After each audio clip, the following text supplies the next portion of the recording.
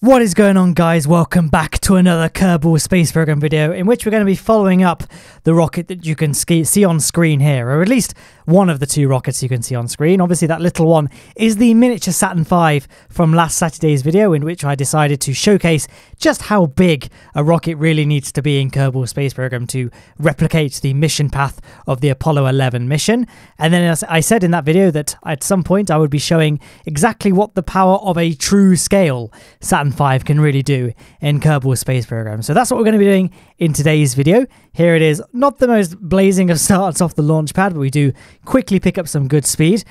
Launch ascent profile fairly standard, pointing 45 degrees by the time we reach 10 kilometers, and then from there, gradually tipping over very slowly around the point where we're at about like I don't know 40 40 seconds to a minute away from our apoapsis at which point we start flying flat that's the ascent profile. I know we're not really there yet, but whatever. Um, I'm sure you can ascertain from the title of this video that today's subject is, of course, sending this thing to Tylo and back.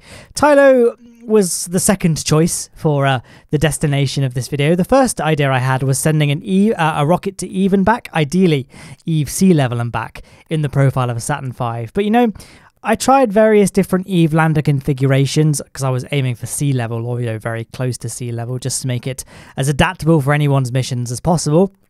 But unfortunately, I just couldn't make an Eve lander that would fit inside the profile of that fairing just there. And you can see this rocket as it is, is actually slightly taller than a normal Saturn V. That rocket, uh, that rocket, that upper fairing there is slightly stretched out compared to what it really should be if we were going for a proper Saturn V recreation. But I feel like it's pretty close nonetheless. But it, an Eve lander would definitely not have fit in the fairing that I'm using at the moment there are ways to make very, very lightweight Eve landers. Uh, I would point you towards Bradley Whistance's sea level Eve lander.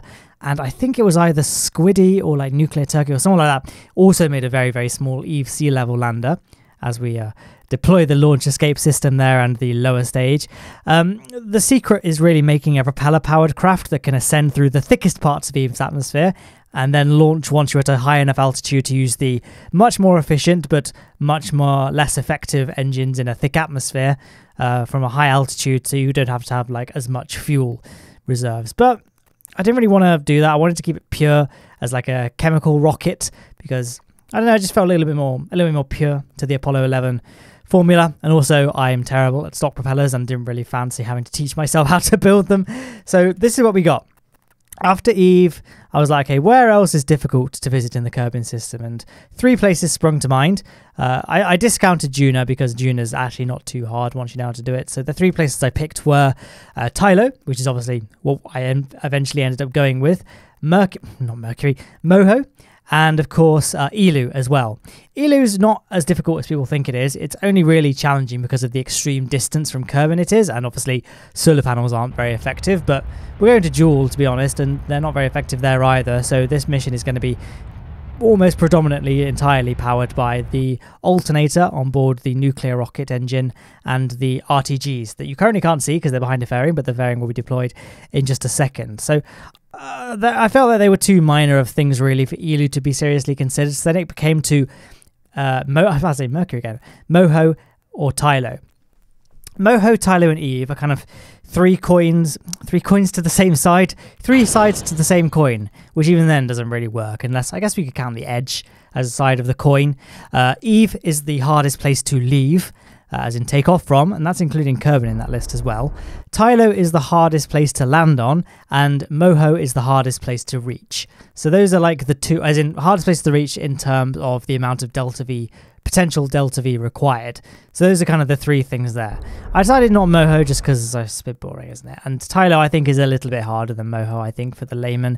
So Tylo it was. Tylo, it's almost like it's basic. It is effectively Kerbin without an atmosphere, so it doesn't sound too bad because landing on Kerbin is very easy. But then again, you can use a heat shield and a parachute to land on Kerbin with absolutely no fuel expenditure but you have to do it entirely using engine burning to land on Tylo. So it's almost like doing a Kerbin launch in reverse. It's not quite as bad as that because when you launch from Kerbin, you are fighting the atmospheric drag to ascend, but it's pretty close. However, because there is no atmosphere on Tylo, we can use very, very efficient engines that don't weigh very much and are very, very efficient but don't work well in atmospheres because it's not a problem in Tylo because there is no atmosphere. So Tylo landers don't necessarily have to be too big, and as you can see, it's not on screen anymore, but it was.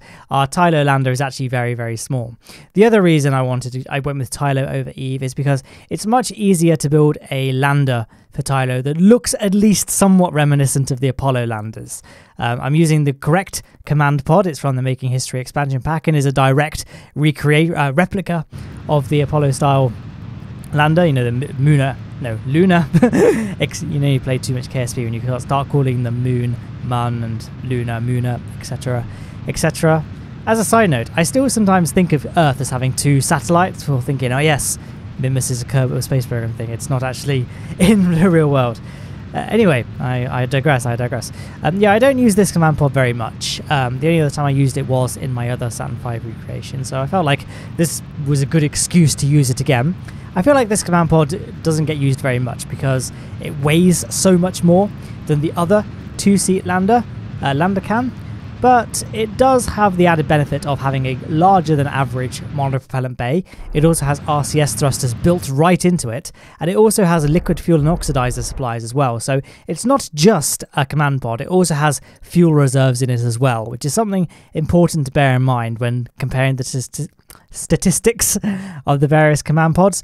One downside to this is that it doesn't have any SAS wheels, I guess, because the intention is the players be need to be relying on the RCS thrusters rather than actually relying on SAS. But you know, I think in Kerbal Space Program it's called it's, it's easier just to use SAS. So I did fit a small reaction wheel to it just before the command um, docking port. But other than that, I think like it's a pretty decent lander can. I guess it's not my first choice. I probably will still keep using the regular old Mark II lander can just because it's easier, you know, to incorporate into lander designs. But this is still good. I feel like it gets undersold for the wrong reasons. It's still a decent command pod in terms of the overall balancing of it. And especially when you're trying to recreate the Saturn V rocket, it's it's per- it's pretty perfect. So here we are on the way to Jool. I do appreciate and acknowledge that I haven't really talked too much about the flight itself so far, but then you know, I have done quite a few missions to Jool recently in my Life on Laythe series, which, by the way, hasn't been abandoned, will be coming. I'm assuming it's going to come next week, unless I think of some other amazing video to do in the interim. Like, I don't know, a good Blunderbird's opportunity presents itself or some major news happens. In fact, the Falcon Heavy's launching next week, isn't it? Or the week after. I'm, I'm a bit behind Given that I said I'd started a series on this channel called Space News, I should probably follow the space news a bit closer. I'm sure it's next week, but I feel like now I'm on the spot talking to you guys. You're gonna, I'm gonna get it wrong. Either way, so maybe I'll do like a Falcon Heavy related video next week. But Life on Laythe certainly is not gone. It will be resuming at some point. I have, in fact, I've built the rocket. I haven't filmed the mission yet, but I've built the rocket and ship and all that for the next installment of the series, which will be coming sooner rather than later, put it that way. Uh, but yeah, like I said, I've done quite a few episodes of Life and Laythe so far in which I have discussed how to get to Jool and subsequently land on its moons. And so I didn't really feel there was much need to keep on retreading the same topics over and over. Tylo is pretty much the same in terms of getting to it compared to Laythe. In fact, it's easier because it has a larger uh, gravity well and therefore a larger sphere of influence, which is much easier to get an encounter, which, as you can see, is all in the past now. We are, in fact, circularized at Tylo. So we're going to do a few burns at periapsis to lower our apoapsis height down to, you know, be a circular orbit, just because we're going to be maximizing our use of the Oberth effect, which I've already discussed ad nauseum as well, so I won't rehash again. But uh, also, you know, we just want to be spending as much time burning at periapsis as possible, just because if we're not burning at periapsis, we're going to end up lowering our periapsis and smashing our craft into the surface of the moon, which, you know, we don't really want, ideally. So, you know, Neil Buzz and uh, Martin Kerman they, they want to Martin Kerman, Michael Kerman uh, need to finish their mission here. So yeah, we've pretty much finished our circularization now, and then we can get ready to launch our brave Kerbals to the surface of Tylo. There we are, nearly fully circular now, just one more quick burn at periapsis to get our apoapsis matching it. I aimed for about 25 thousand meters off the surface just because that will make us nice and safe from any uh, potential impacts with the surface of Tylo. Although Tylo's terrain, at least relative to its you know diameter, is pretty flat. With there's not many high mountains that you're at risk of striking. So yep, we have our Kerbals safely transferred over. We can decouple our docking port our um, the lander there doesn't have any RTGs or anything, so we're going to deploy that solar panel, which, although admittedly won't generate that much electricity this far from the sun, will at least provide some power sustenance whilst we descend. So I'm using the Aerospike engine, which traditionally is better suited for atmospheric landings, but it's still a fairly well balanced engine, to be honest, in terms of its weight and ISP in a vacuum, which is obviously the only ISP value we care about for this landing because we're only landing in a vacuum. I also really liked it for this mission. One of the main reasons, to be totally honest, is because it's such a small profile, it would really fit uh, the general look of a manned lander, and of course, it means that landing legs will easily extend below its uh, the end of its like spike. I was going to say nozzle. It doesn't really have a nozzle, does it? That's the point. Uh, they'll extend easily beyond its spike without needing to do some like custom support work to get the legs to extend low enough. So that's kind of why I went with the aero spike, even though there are definitely better and more suitable engine configurations for this type of mission. And again, this comes to the other inaccuracy, for want of a better word, because let's face it, this whole mission is not particularly accurate to the Apollo 11 mission and I guess the subsequent Apollo missions that landed on the moon. Um, in that we've not got a second engine stage for the ascent, we're going to be landing and then subsequently ascending using the same Aerospike engine. Admittedly, I guess it is a different stage aside from the very, very last puff of fuel just to do the final part of our landing. Uh, so it's more, I guess it's closer to a recreation of the uh, failed Soviet N1 lander. Was it, is it called the LK lander? I really should know this and really should now pause my commentary and check, but we don't do that because I can continue to poke flaws in this whole video by saying that I, I forgot to make sure that my ladder wouldn't just go straight through one of the landing legs, which as you can see, uh, does go through zero. I mean, it's not a huge problem because when Kerbals are on ladders, they can actually just shift through landing legs, so it still works. But it would have been better, I think, just from a cosmetic point of view, to not do that. But at least we have a ladder because for those that don't know, jetpacks, or you know, the EVA packs, I should say, because people sometimes get annoyed when I say jetpacks, even though you guys know what I mean when I say jetpacks, right? I know it's not literally a jet. Either way, the EVA packs don't work on Tylo because the gravity is just too strong there are our Kerbals magnificently uh, sucking in the great achievement that they've just achieved. Uh, probably shouldn't have used the word achievement twice, but we're going with it. Trice. I can't even get my words out today. Was, it's been a long day, guys. I'm very tired. It's Thursday, which is nearly the end of the week, and so I'm getting pretty tired at this point. And I have been a bit ill these past few days as well. So, you know, I'm getting there. I'm getting there. I mean, at least Thursday. Thursday. I think Thursday to just completely stop talking about this video, let's just talk about the ascent because this is probably more, one of the more interesting aspects of the flight, as well as the apparent um, autonomous destruction of our flag. Rest in peace. So we no longer got a flag planted, but we must push ahead because the command pod is above us and we need to get rendezvoused with it. So we can pretty much fly flat immediately on Tylo because we have a very high amount of thrust to weight ratio in this thing.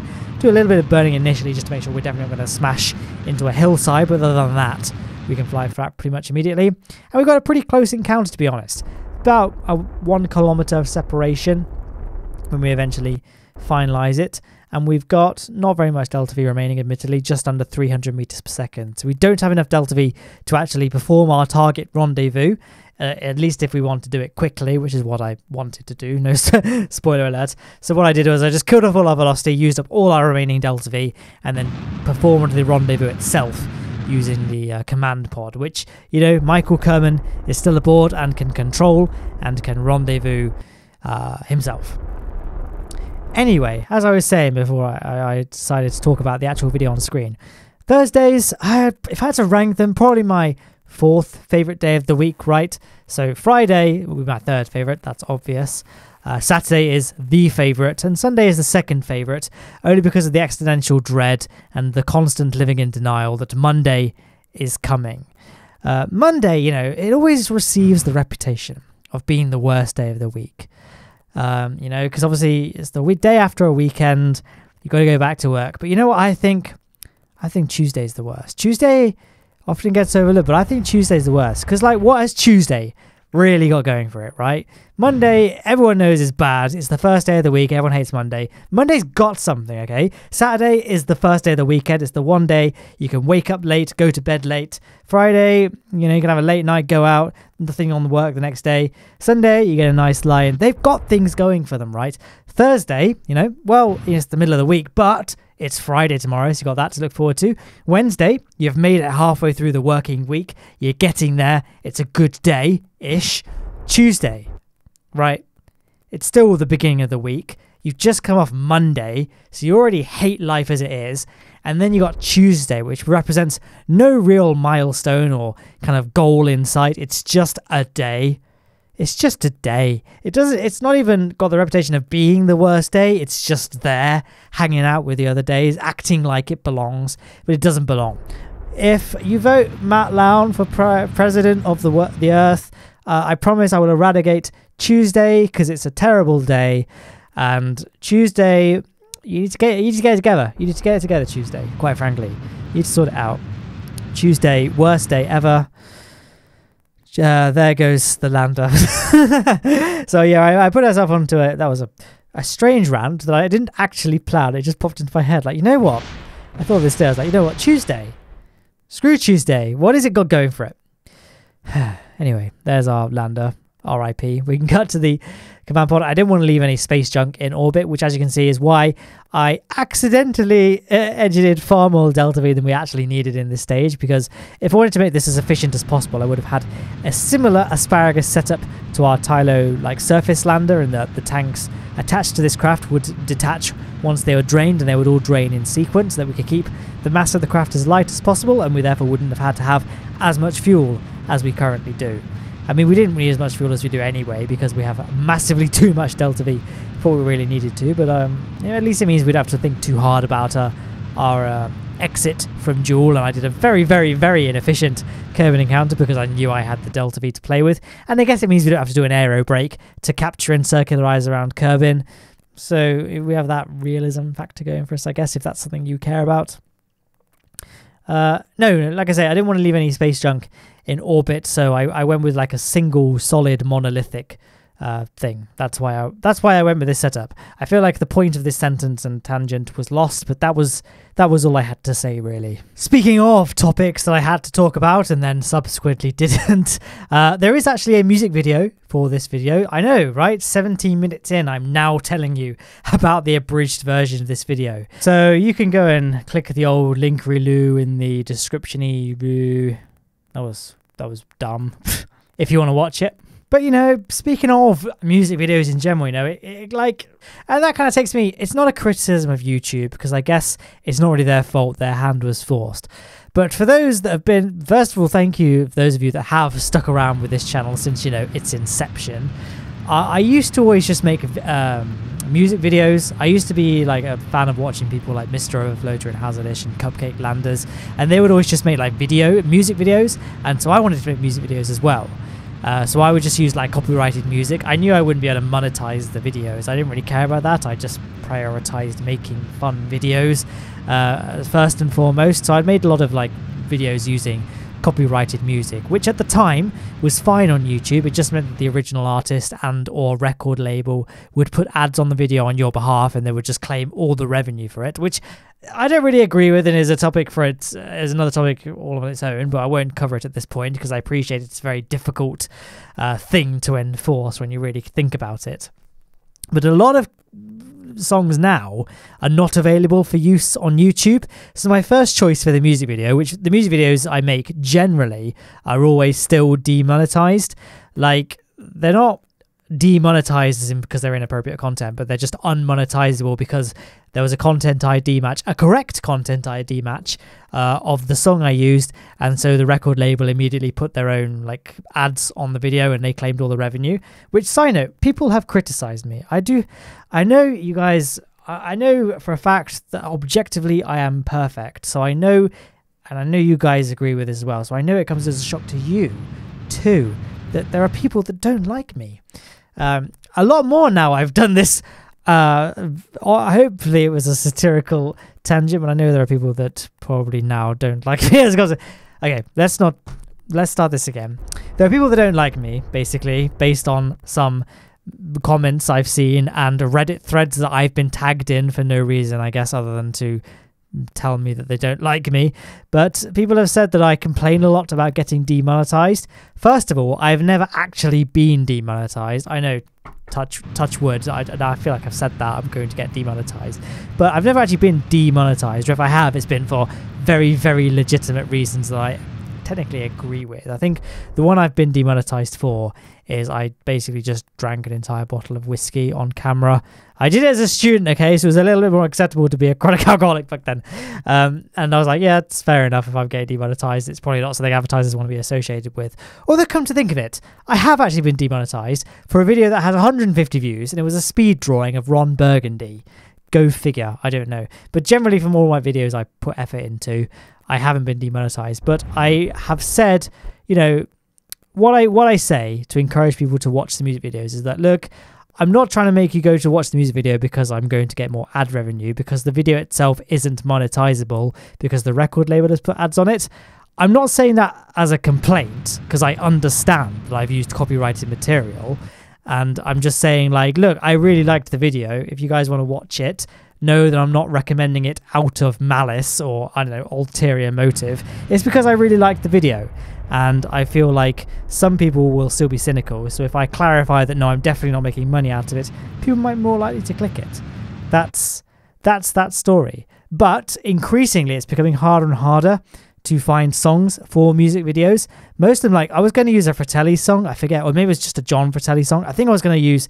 No, I tell you what I was going to use. I was going to use the inspirational carpet song Saturn Five because hey, what a topical song to use. But no, not available for use on YouTube, it will get muted. Your video will get your video will get muted. I'm like, why can't the record label just take all the ad revenue? I don't care.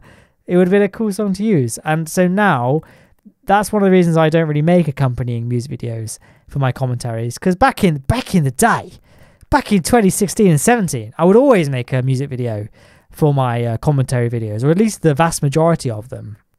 But you know, these days it's just like it's, it's quite demoralizing. Like, oh, I'll use this song. Okay, no, that will get blocked. Let's use this song. Oh, it will get muted. Oh, let's use this song. Oh, it, it won't get blocked, except for the 243 countries it will get blocked in, which is basically all of the first world countries. So it's becoming quite difficult to make music videos unless you use royalty free music, and it's quite hard to find royalty free music that everyone else doesn't already use.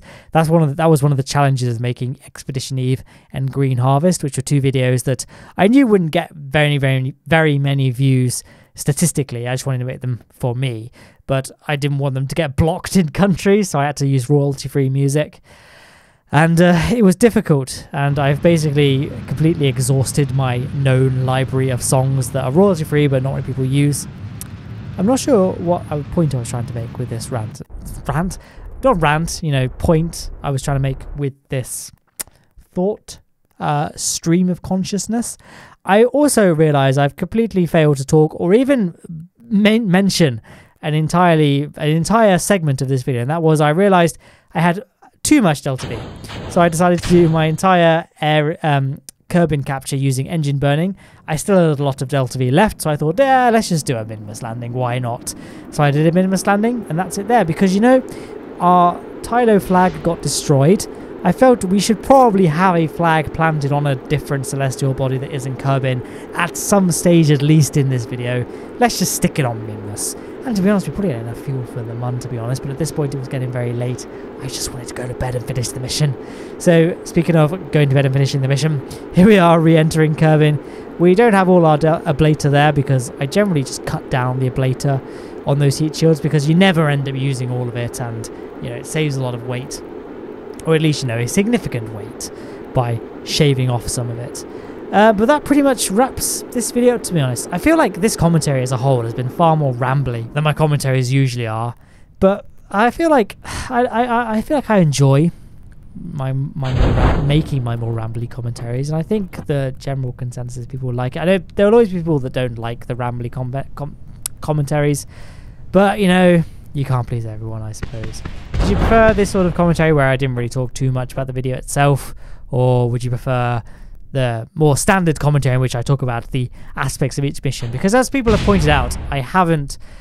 There's not many things in KSP I haven't done. So I think in order to keep the videos at least somewhat engaging, I could talk about things that aren't necessarily happening real time on screen.